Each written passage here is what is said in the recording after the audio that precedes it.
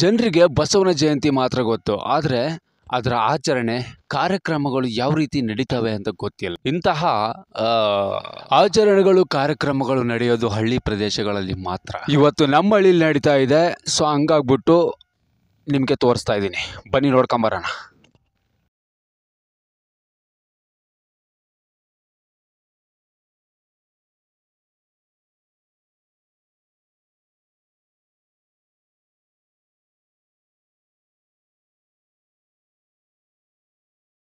ಗೆ ಈ ಬಸವನ ಜಯಂತಿ ಮಾತ್ರ ಗೊತ್ತು, ಆದರೆ ಈ ಬಸವನ ಜಯಂತಿನ ಯಾವ ರೀತಿ ಆಚರಿಸ್ತಾರೆ, ಅದ್ರ ಕಾರ್ಯಕ್ರಮಗಳು ಹೆಂಗಿರುತ್ತೆ ಅಂತ ದೇವರನಿಗೆ ಗೊತ್ತಿರೋಕ್ಕಿಲ್ಲ ನಿಮಗೆ.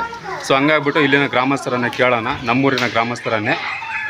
ಏನಕ್ಕೆ ಆಚರಿಸ್ತಾರೆ, ಇದರ ಹಿನ್ನೆಲೆ ಏನು, ಎಷ್ಟು ವರ್ಷದಿಂದ ಆಚರಿಸ್ಕೊಂಡು ಬರ್ತಾ ಇದ್ದಾರೆ ಅಂತ ಅಂದ್ಬಿಟ್ಟು ಕೇಳ್ಕೊಂಬರೋಣ. ಸತತ ಹತ್ತು ವರ್ಷದಿಂದ ನಾವು ಬಸವ ಜಯಂತಿಯನ್ನು ಆಚರಿಸ್ತಾ ಬಂದಿದ್ದೀವಿ. ಸತತವಾಗಿ ಹತ್ತು ವರ್ಷದಿಂದ ನಾವು ಮೆರವಣಿಗೆ ಮಾಡ್ತಾ ಎತ್ತುಗಳನ್ನು ಸತತವಾಗಿ ಹಿಡ್ಕೊಂತ ಬಂದಿದ್ದೀವಿ.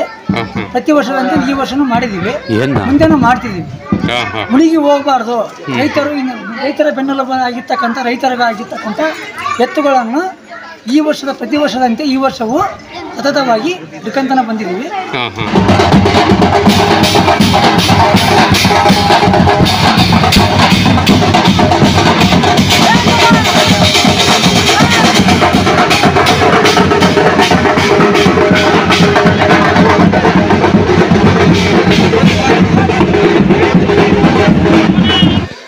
ತುಂಬ ಕೆಟ್ಟಾಯ್ತು ಗುರು. ಒಂದು ಕಾಲದಲ್ಲಿ ಇತ್ತು ಮನೆ ಮುಂದೆ ಎರಡು ಎತ್ತುಗಳಿದ್ರೆ ಸಾಕಪ್ಪ, ದೇವ್ರು ಬೇಜಾನ್ ಕೊಟ್ಟವನೆ ಅಂತ ಹೆಂಗೋ ಜೀವನ ಸಾಗಿಸ್ಕೊಂಡು ಹೋಯ್ತಾ ಇದ್ರು. ಆದ್ರೆ ಇವಾಗ ಎತ್ತುಗಳಿರೋ ಜಾಗದಲ್ಲಿ ಟ್ರ್ಯಾಕ್ಟರ್ಗಳು ಕಾಣಿಸ್ತಾ ಇದ್ದಾವೆ. ಕುರಿ ಕೋಳಿಗಳನ್ನ ತಿನ್ನೋ ಜಾಗದಲ್ಲಿ ಎತ್ತುಗಳನ್ನು ಕೂಡ ಬಿಡ್ತಾ ಇಲ್ಲ ಈ ಜನ. ಹಿಂಗಾದ್ರೆ ಇನ್ನು ಸ್ವಲ್ಪ ವರ್ಷ ಅಷ್ಟೇ ಈ ಎತ್ತುಗಳನ್ನು ಕೂಡ ಜೂವಲ್ಲಿ ನೋಡೋ ಪರಿಸ್ಥಿತಿ ಎದುರಾಗ್ಬೋದೇನೋ.